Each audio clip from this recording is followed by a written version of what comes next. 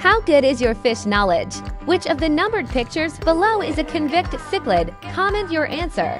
Like and subscribe for more videos like these.